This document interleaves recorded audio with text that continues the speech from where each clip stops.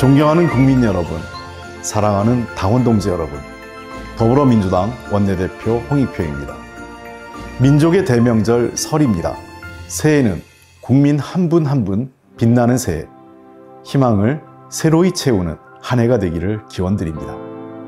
우리는 겨울의 한가운데서도 결코 봄을 잊지 않습니다.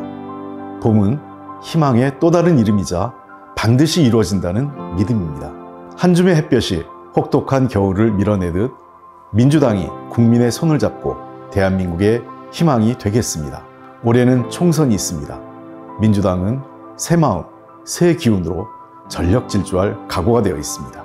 우리의 미래를 준비하고 국민의 삶을 지키기 위해 최선을 다하겠습니다. 민주당의 승리를 넘어 국민의 승리가 되도록 더 낮은 자세로 더 열심히 뛰겠습니다. 민주당과 함께 새로운 대한민국의 꿈을 키워주십시오. 가족은 언제나 정겹습니다. 오랜만에 가족, 친지와 더불어 웃음 가득한 따뜻한 시간 보내시기를 바랍니다. 국민 여러분의 건강과 행복을 기원드립니다. 감사합니다.